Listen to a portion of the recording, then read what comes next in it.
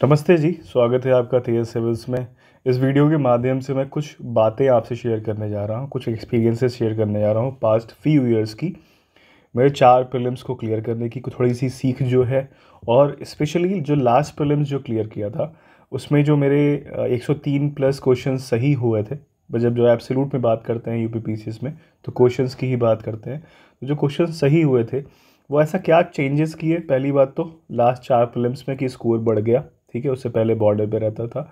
और कुछ mental level पे बातें मैं शेयर करना चाहता हूँ, जो मेरी पर्सनल लर्निंग से है।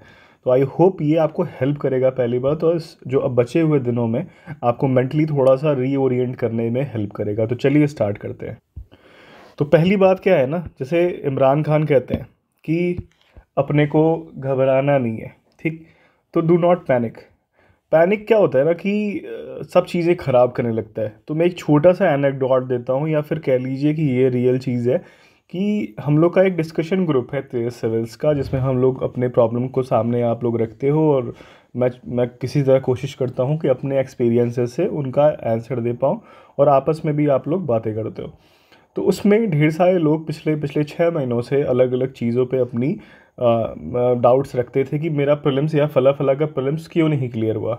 और ढेर सारे लोग यार, मैं अगर मैं आपको यहाँ पे बता रहा हूँ तो हो सकता है कि मैं आपसे बहुत ज़्यादा ना जानता हूँ, है ना? लेकिन फिर भी कुछ गड़बड़ियाँ हो रही थी। तो उसमें सबसे ज़्यादा जो चीज़ें हो रही थी ना इशू आ रहा था कि सब कुछ पाइपलाइन में रख देते हैं आप लोग। सब कुछ करते हैं कि ये लास्ट में जाके पढ़ेंगे लास्ट में जाके पढ़ेंगे। और जब लास्ट में जब पाइलअप होने लगती हैं चीज़ें ना तो उस समय आती है एनजाइटी उस समय ब्रीड करती है एनजाइटी और जब एनजाइटी घर करने लगती है ना तो सेल्फ डाउट करने आ, होने लगता है आप सबको।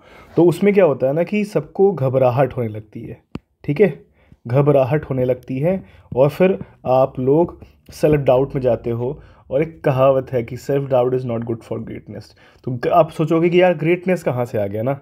इसी इतने में ही ग्रेटनेस कहाँ से बोल दिया आप? तो ग्रेटनेस की बात ये है दोस्त ना कि ढेर सारे लोग हो सकता है आप लोगों में से कोई कोई ऐसे होंगे जो बाईस तेईस साल के होंगे और कोई कोई ऐसे होंगे जो चौंतीस पैंतीस साल के होंगे एग्ज़ाम दे रहे होंगे मल्टीपल फेलियर्स देखा होगा। तो वहाँ से एक होता है ना कि अपने अबाइसमल लो से उठने के लिए ना एक तिनका भी काफ़ी होता है। तो क्या पता ये साल आपके ग्रेटनेस की कहानी लिखने वाला हो। तो सेल्फ डाउट मत कीजिए। यहाँ तक आप आए हो तो अगर आप बहुत ही यंग हो, इक्कीस बाईस साल के, हो सकता है कि आपने, आपके पेरेंट्स ने परस्यू किया हो आपको कि यार सिविल सर्विसेज़ की जर्नी तुम परस्यू करो, आगे जाओ, ये रास्ता तुम्हारे लिए सही है।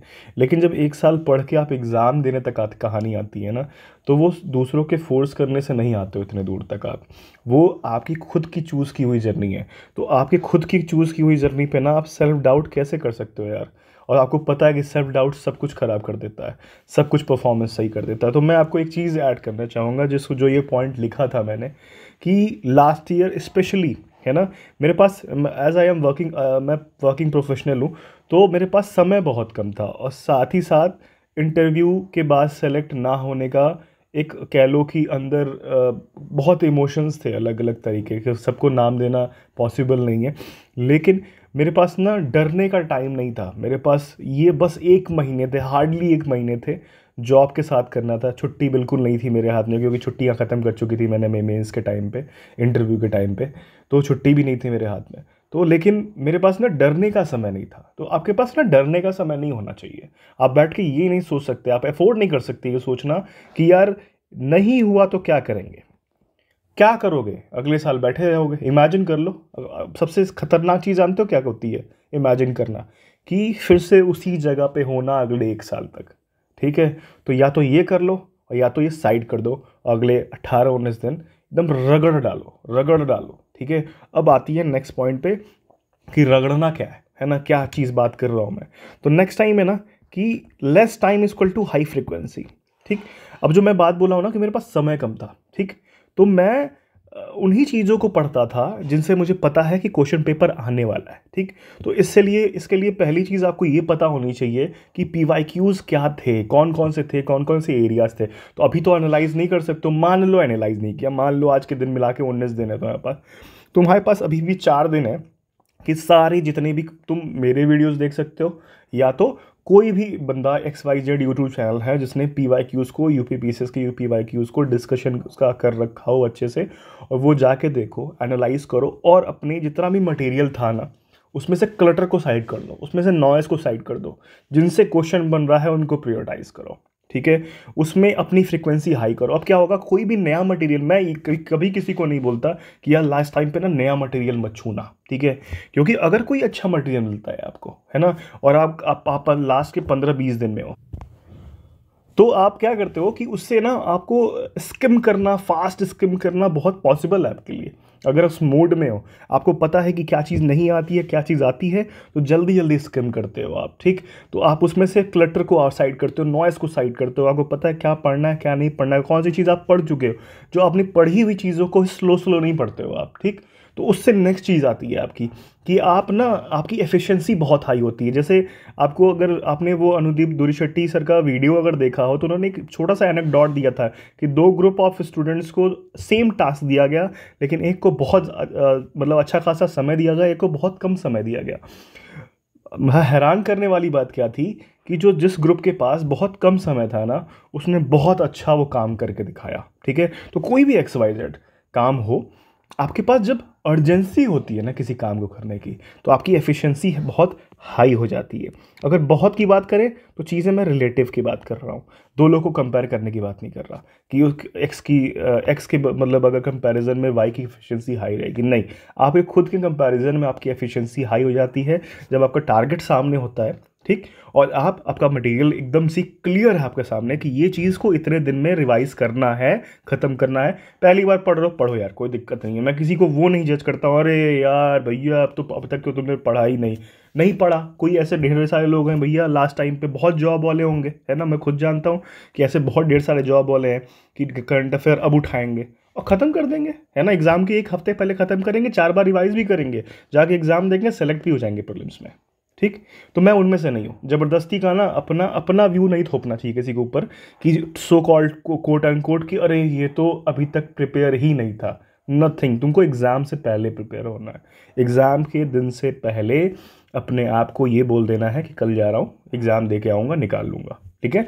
लेकिन आज का माइंडसेट क्या होता है ना कि अब से जब तुम रहते हो तो रोज़ अपने आप को ये मतलब इतने न्यूट्रल स्पेस में ले आना होता है कि हो रहा नहीं हो रहा इसका डिस्कशन ही नहीं है दिमाग में तुम्हारे। बस मैं जो मेरे सामने है, उसको किसी तरह पढ़ के ख़त्म करना है। One day at a time ठीक है? One day at a time ठीक? तो ये हाई फ्रिक्वेंसी तभी आएगी ना जब सेल्फ डाउट नहीं रहेगा पैनिक नहीं करोगे और मटेरियल की क्लियरिटी रहेगी, कौन सा मटेरियल आप पढ़ने वाले हो, ठीक? अब आती है बात कि मटेरियल पढ़ना ठीक है डिसाइड हो गया। नेक्स्ट है मल्टीपल रिवीजन स्ट्रैटेजी ठीक है? एक बात याद रखना कि we are dealing with something जिसको, है ना एनालिटिकल पार्ट पे उतना आपको ग्रिल नहीं करता है ये एग्ज़ाम ठीक है? बहुत क्लियर हूँ मैं इस चीज़ को बोलने में। खुद निकाला हुआ है यूपीएससी चार बार फ़िल्म निकाला हुआ है, ये भी एग्ज़ाम चार बार फ़िल्म निकाला हुआ है, मुझे पता है मैं क्या बोल रहा हूँ, ठीक? यूपीएससी में क्या होता है you go for again and again आप रुक के पढ़ते हो, है ना? कि पॉलिटी भी पढ़ रहे हो ना तो वो पार्लियामेंट वाला चैप्टर पढ़ते हो कि अरे यार, कौन सी चीज़ इंडिया का इनोवेशन है? या फिर आप सेंट्रल स्टेट रिलेशन पढ़ते हो तो अरे रुक जाते हो थोड़ी देर के लिए। कि अच्छा जो राज्यसभा को कितने टू बाई थर्ड मेजॉरिटी में किस किस चीज़ों को पास करने की ज़रूरत पड़ती है, ठीक है? कहाँ पे, अगर मैं नेशनल इमरजेंसी की बात करूँ प्रेसिडेंट क्या कहते हैं, समझ लीजिए कि नेशनल इमरजेंसी हो जाए, आपका हो गया, या फिर अदर जो इमरजेंसीज होती हैं प्रेजिडेंट लॉ होता है जो माफ़ कीजिएगा प्रेसिडेंट रूल जो होता है, ठीक है? तो उसमें जब आता है तो उसमें क्या क्लॉजेंस है? कितने देर तक रह सकता है? क्या चेंजेस आते हैं? लेकिन वही चीज़ यू पी में चेंज हो जाती है। फैक्चुअल चीज़ें चलती हैं तो स्किम करो, जल्दी जल्दी पढ़ो, है ना? चीज़ों से फैमिलियरिटी बढ़ाओ। कोशिश ये मत करो कि एक ही बार पढ़ोगे, दो ही बार पढ़ोगे, हो जाएगा तुम्हारा। नहीं होता है। आपका सिंपल फंडा होना चाहिए। मल्टीपल इटरेशंस जाना है मल्टीपल इटरेशंस जितनी बार हो सके किसी चीज़ को आपको अलाउ करती है तो आप उतने बार उसको पलटो पेज पलटो और देखो कि कोई टर्म के अगल बगल कोई की टर्म दिख रहा है है ना? तो उसके अगल बगल और क्या चीज़ें तुम्हें दिख रही हैं कि क्वेश्चन में आया क्लिक किया तुरंत टिक मारे आगे बढ़े। ठीक है? पेपर लंबा होता है डेढ़ सौ क्वेश्चन होते हैं।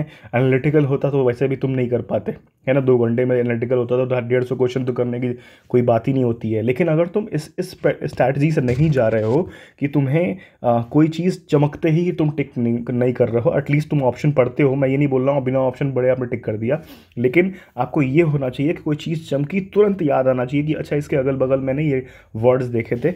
आप वो वर्ड्स खोजते हो ओके डन नेक्स्ट पे आगे बढ़ो, ठीक है? तो आपको revision strategy multiple revision strategy होनी चाहिए, ना कि एक, दो। ठीक है? तो अगर कोई चीज़ नई है तो उसको इस तरह से पढ़ो कि लास्ट के हफ़्ते में उसको दो तीन बार रिवाइज कर लोगे, ठीक है?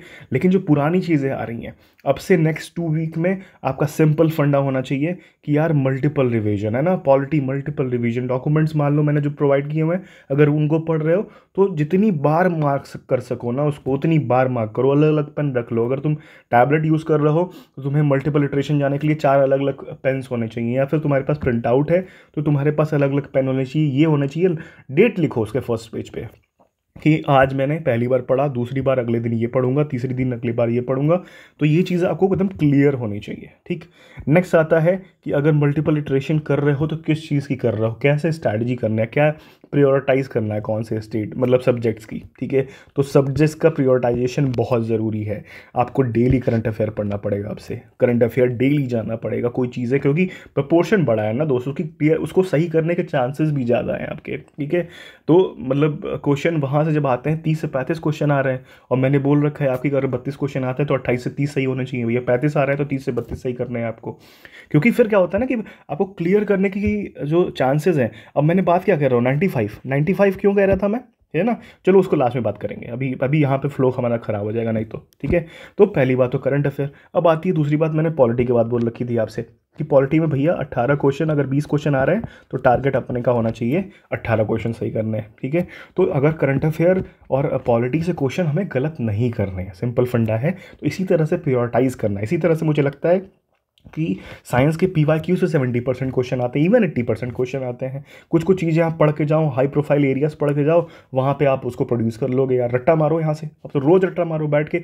मैं तो कहता हूँ कि अगर तीस पेज का पी मैंने प्रोवाइड कर रखा था, अगर नहीं लेना, चलो छोड़ो, अपने अपने जो तुम्हारा नोट बना रखे हो। दस पेज पंद्रह पेज का पीडीएफ मतलब सॉरी एक नोट्स बना रखा होगा ना। उसको कितनी बार रिवाइज कर सकते हो? देखो आ, कहते हैं ना self confidence over self confidence जो होता है ना ओवर कॉन्फिडेंस जो लोग होते हैं ना वो ख़राब होता है। तो कितनी बार भी पढ़ चुके हो? अब से लेकिन ये लास्ट वीक में या फिर लास्ट के दो दिन से हफ़्ते में बीस दिनों में उन्नीस दिनों में आपको इसको तीन से चार बार और ले जाना है ठीक है? तो ये मत सोचना कि कितनी बार पहले कर चुके हो। अब से ये डिसाइड करो कितनी बार करना है। सेम मुझे लगता है कि इन्वायरमेंट में लो हैंगिंग फ्रूट है। सेम पैटर्न है है ना? कि कौन सा लोकेशन फैक्टर कौन सी चीज़ कहाँ पर है मतलब नेशनल पार्क हो गया, टाइगर रिज़र्व हो गया वाइल्ड लाइफ सेंचुरी हो गया कुछ कुछ की टर्म्स हो गए हैं, है ना? कि वो की टर्म्स को किसने फ्लोट किया हुआ है, किसने ये कॉन्सेप्ट दिया हुआ है, ये सब। डेटा फैक्ट की बात हो गई एग्रीकल्चर का फैक्ट हो गया इकोनॉमिक्स का फैक्ट हो गया।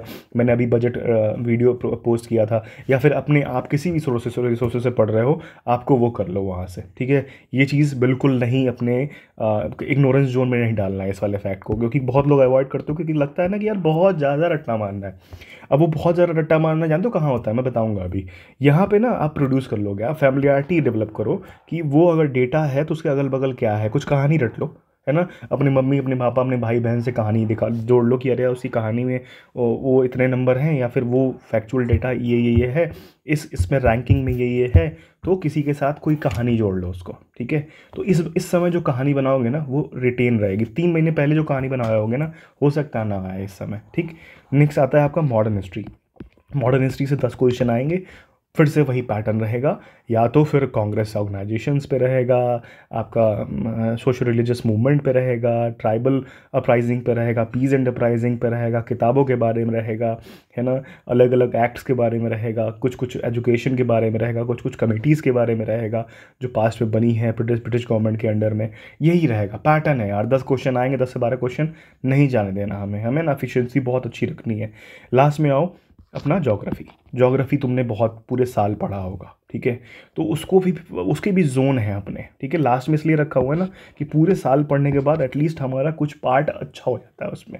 हमें नहीं देखना। हमें ये नहीं देखना कि कौन सा आ, कह सकते हैं कोल्ड करंट है कौन सा हॉट वाटर करंट है ठीक है? हमें ये नहीं देखना कि कौन सा पासिस कहाँ पे है। हम एक बार देखे स्किम किए हम कहाँ के हैं हाँ हाँ ठीक है? हो गया भाई हमें आ गया। ठीक है? तो ये सब चीज़ें मैं अब जो आता है ना, आप कहते हो कि बहुत ज़्यादा रटना पड़ता है। वो आता है आपका एंशंट प्लस मेडाइवल ठीक है? मैं आज तक मेडाइवल पढ़ा नहीं। एंशंट पिछले कुछ सालों से पढ़ने लगा हूँ, खासकर यू पी के लिए। तो एंशंट के लिए वही बात है कि P Y Q P Y Qs कर लो पी वाई क्यूज़ कर लो, उनके ऑप्शंस को देख लो, ठीक है? उससे क्वेश्चन बनता है, ठीक है? अदरवाइज़ आपने पढ़ रखा है तो ठीक है।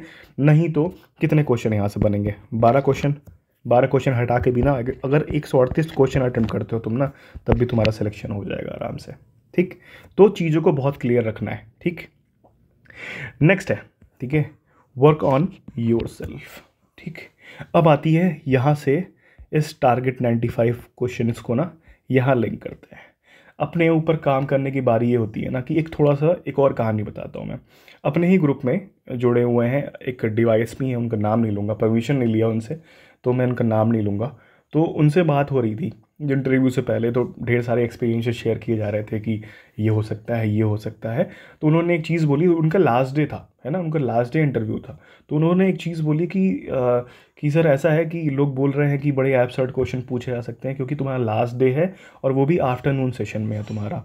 तो तुम तुम्हारे क्वेश्चन बड़े अजीब हो जाएँगे क्योंकि तब तक ना क्वेश्चन एग्जॉस्ट हो चुके होंगे अच्छे अच्छे तो मैंने कहा ठीक है तुम एब्सर्डिटी के लिए तैयार हो जाओ ठीक है? मतलब कहने का मेरा मतलब ये है ना कि एब्सर्डिटी के लिए जब तुम तैयार रहोगे ना तो तुमको ये पता है ना कि तुम प्रिपरेशन कर रहे हो इंटरव्यू की तो तुम फैक्चुअली तो सब जगह तुमने मेहनत कर रखी है ना?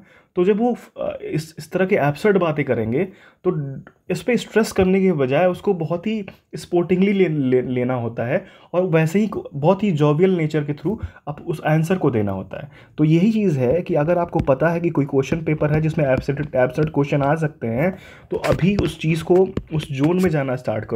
कि यार देखो जो पढ़ा है ना वहाँ से मैं क्वेश्चन गलत नहीं करूँगा ठीक? एट द सेम टाइम अगर कुछ क्वेश्चन ऐसे आए जिनमें चीज़ें फंस सकती हैं तो मैं पैनिक नहीं करूँगा वहाँ पर जाके ठीक है? अपने आप को पिलाना स्टार्ट करो अपने आप को ब्रे, अपने ब्रेन को ना वो कहते हैं ना मैनिफेस्टेशन जोन में जाना होता है एक। तो मैनिफेस्टेशन मैनिफेस्टेशन जोन में जाओ और अपने आप को पिलाना स्टार्ट करो कि देख भाई पैनिक तो बिल्कुल नहीं करूँगा। मैं मैं, मेरी प्रिपरेशन लेवल पे ही लोगों ने सिलेक्शन पाया हुआ है, लोगों ने प्रीलिम्स क्लियर किया हुआ है। अगर मेरा किसी चीज़ के लिए रुक रहा था, किसी चीज़ की वजह से रुक रहा था तो वो गलतियाँ बिल्कुल नहीं करूँगा मैं। और अगर कोई ऑप्शन पढ़ने में गलतियाँ हो रही हों तो वो इस बार नहीं करूँगा। तो वो जितनी भी गलतियाँ हैं ना, अपने आप पर अभी से काम करना स्टार्ट करो। लास्ट टाइम पर नहीं जाना है, ठीक? और यही बात आती है तो working on yourself itself mean कि आपको ये रियलिटी चेक होना चाहिए। रियलिटी चेक क्या है? कि यूपी पीसीएस में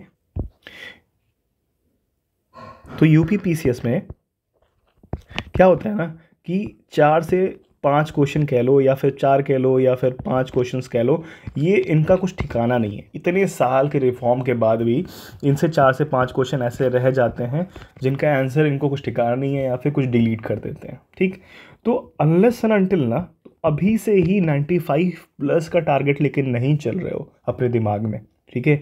अपने दिमाग में ये नहीं मतलब कर रहे मतलब ये होता है ना कि मैनिफेस्टेशन वाला कि यार मेरे, मैं कर लूँगा उतना, मुझसे सही हो जाएँगे, ठीक है? अभी से अगर अपने आप को ये बोल रहे हो कि पता नहीं होगा कि नहीं होगा तो तुम क्लियर कैसे करोगे यार, है ना? ये सोचो ना, कैसे क्लियर करोगे? इतने मार्क्स लाओगे कैसे? इतने क्वेश्चन सही करोगे कैसे? एब्सोल्यूट में। ठीक? तो ये चीज़ जो है ना कि 95 प्लस की गेम जो है कि आपको स्टैंड आउट करता है पूरी जनता से। आप ऑलरेडी अंदर रहते हो और आपके लिए बहुत ज़रूरी है अगर आपको मेंस फ्लाइंग कलर से आपको क्लियर करना है तो प्री आपको बहुत अच्छे से क्लियर होना चाहिए। अदरवाइज़ जो जब, जितने दिन तक आपका प्रिलिम्स का रिज़ल्ट नहीं आता है ना, जब तक रिज़ल्ट नहीं आता है ना, उतने दिन तक आप बीच में अधड़ में लटके रहती है आपकी प्रिपरेशन तो अगर आपने मेंस की प्रिपरेशन कर रखी है इतने दिनों से, बहुत अच्छा आप समझते हो, आपकी राइटिंग पावर बहुत अच्छी है। आपको ग्रैप्स बहुत अच्छे होते, अच्छे से होता है, आप अंडरस्टैंडिंग बहुत अच्छी है, और आपको लगता है जिस दिन आप मेंस लिखोगे, उस दिन तो निकाल ही लोगे और बहुत अच्छा सिलेक्शन हो जाएगा आपका। तो आपके लिए आप ये जानना स्टाफ बहुत ज़रूरी है कि प्रिलिम्स को बहुत अच्छे से क्लियर करना ज़रूरी है, क्योंकि आपका पैंतालीस दिन चला जाएगा। अगर मान लो कम से कम एक महीने में भी रिज़ल्ट आता है तो एक महीना, तीस दिन में ना मतलब बहुत कुछ हो सकता है यार। तो इसलिए आपको अपने ऊपर काम करना है। अगले कुछ दिन बहुत ही पॉजिटिव माइंडसेट रखिए, ठीक? और उस पर काम करते जाइए, काम करते जाइए। चीज़ें बहुत अच्छी होंगी अगले कुछ दिनों में, अगर आप न्यूट्रल में हैं और न्यूट्रल प्लस पॉजिटिव में, धीरे धीरे धीरे धीरे पॉजिटिविटी आती है, जैसे जैसे आपका सिलेबस कंप्लीट होता जाता है, ठीक है? तो अगर आपको ये साल के लास्ट में, ठीक है? साल के लास्ट में एक ऑफिसर के रूप में अपने आप को देख रहे हो, ठीक है? तो अगले कुछ दिन बर्बाद मत करना, अपने आप से नेगेटिव बातें मत करना नेगेटिव लोगों से किनारे हो जाओ, अलग कर लो अपने आप को और उस जोन में चले जाओ जहाँ पे तुम्हारे पास समय ना हो स्टूपिडिटी के बारे में सोचने का, ठीक? तो इसी के साथ मैं वीडियो एंड करता हूँ। बहुत ज़्यादा बड़ा हो जाएगा तो आपका समय बहुत इंपॉर्टेंट है। हो सके तो 1.5 एक्स में देखना है इस वीडियो को तो काफ़ी हेल्पफुल रहेगा। आई होप इस वीडियो में मैं वो बता पाया हूँ जो एक मतलब अच्छे एस्पिरेंट के माइंडसेट के बारे में बात जो करनी होती है ना। और जहाँ तक रही बात कंटेंट की प्रिपरेशन की अच्छा चल रहा है दोस्त, निकाल लोगे। निकाल लोगे। मैं कह रहा हूँ ना निकाल लोगे। परेशान मत होना बस।